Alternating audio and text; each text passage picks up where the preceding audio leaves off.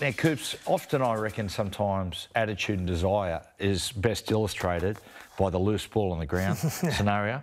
Like, right, who, who's got the desperation, who's got the desire to come up with that ball? Sometimes when there's feet in the way and everything like that.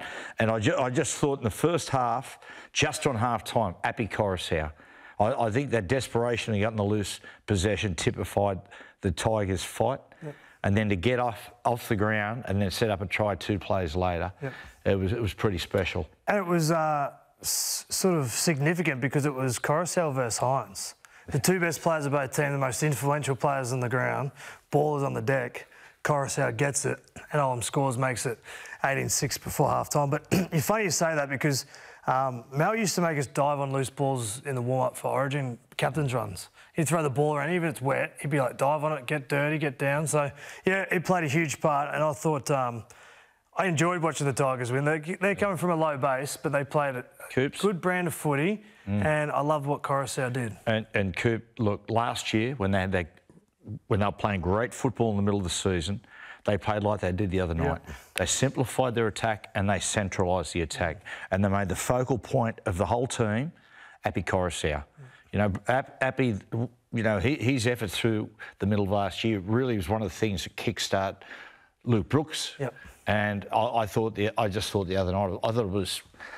I don't think you'll ever see Api play a better game. And I think the number one indicator when the dummy half plays well is I think the front rowers do a good job. Your middle forwards are yep. dominant. I thought Utoikamanu was good, Fano off the bench, um, and they just added some spark. Um, yeah, Olam for his first game for the Tigers, he was brilliant. You know what I like about Olam oh, is, is the fact that terrifying. if as a defensive centre, he carries consequence. Yeah. So, as you know, Coop, if you're a playmaker and you're going to the line, there's going to be consequences if you make a bad pass decision yep. to a teammate. You could be really putting your, yep. well, you are putting your, your teammate in harm's way. Yeah, I, I, remember sort of having that double look at someone like Steve Matai at Manly at different mm -hmm. stages because they, they'll get it wrong, but when they get it right, that's right. Geez, it, it hurts and, yeah. it, and it helps their You team. make an enemy of a teammate. Yeah, and um, yeah, as a ball player too, if, if you feel like you're second guessing yourself, someone like Olam mm. just being super aggressive coming in, and it can actually stifle your attack. So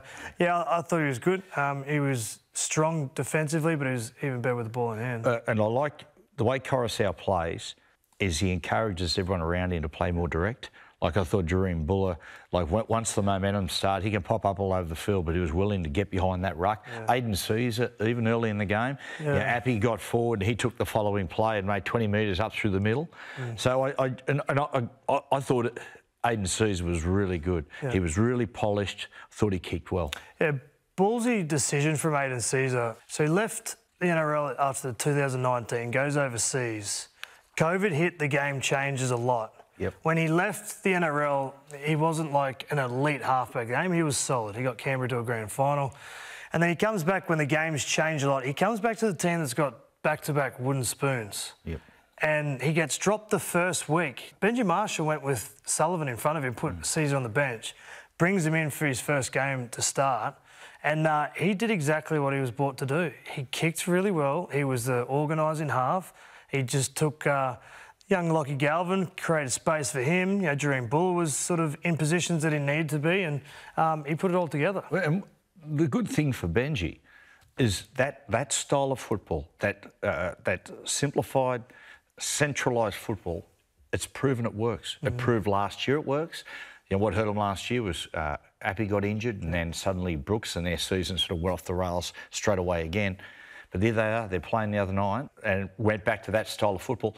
That's the formula. Yeah, and that's that, that's a very important thing for Benji. And and I, I like seeing the Tigers win. I love seeing this team song. But on the other side of the field, the Sharks were bad, right? Yeah. So what are the Tigers going to do to get off the bottom of the ladder when they've played teams that aren't bad? Uh, is that style of football where they go punch for punch and try and play conservative? Yeah. Is that going to be enough to beat the better teams or win a lot of games to get them off the bottom? That's suppose, going to be the thing for Benj. And I suppose, Coops, it's how how good you get at that style of football. Yep.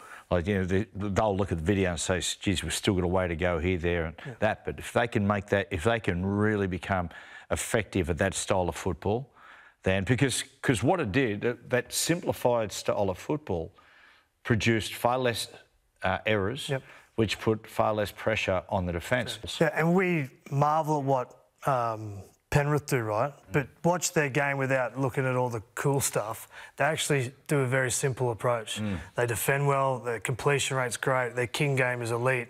They do all that thing every week and then they can add the cool stuff on top. For the Tigers, they need to build that foundation for a lot longer for them to then start adding some stuff on top. But I like your point.